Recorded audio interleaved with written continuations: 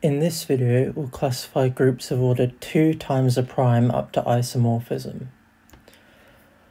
Re required knowledge is the Sylow theorems and Lagrange's theorem.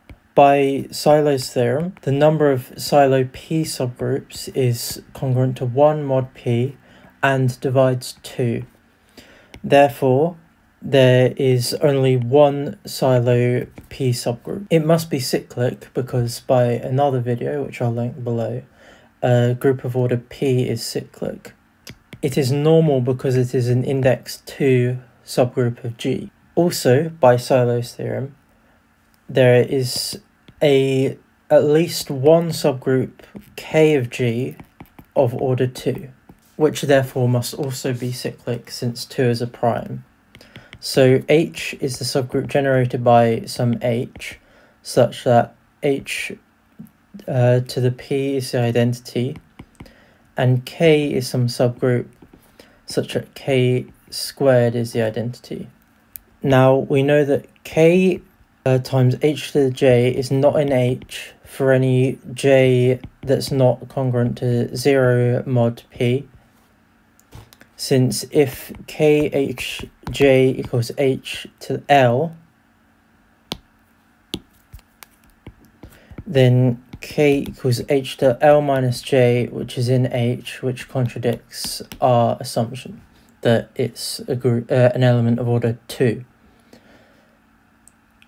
Similarly, khj is not in k if k, if j is not 0.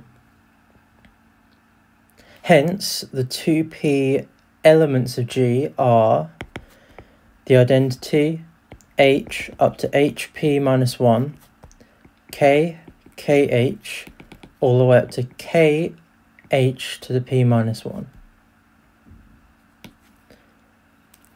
Since h is a normal subgroup of G, KHK is in H.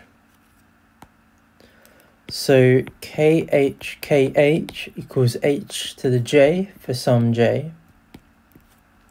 I've just multiplied that by H, which still keeps it in H.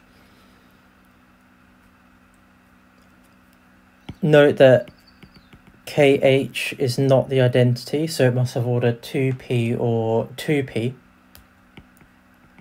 If j is not equal to 0, then kh squared is not the identity.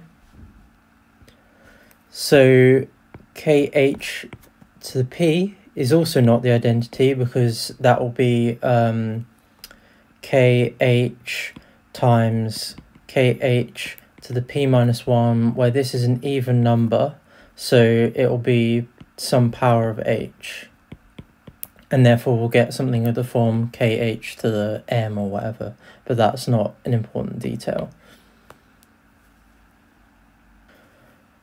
Therefore, it doesn't have order 2 or p, so therefore order of kh must be 2p, and since we have an element of order 2p, uh, this is the whole group, the group generated by kh. Therefore, it's a cyclic group. If j is 0, then we have uh, khk equals kh, khk equals h inverse. So g is the subgroup generated by h, k such that h power p is identity, which is also k squared, and khk is h inverse but this is just the de a definition of the dihedral group of order 2p. Therefore, groups of order 2p are isomorphic to the cyclic group or the dihedral group of that order.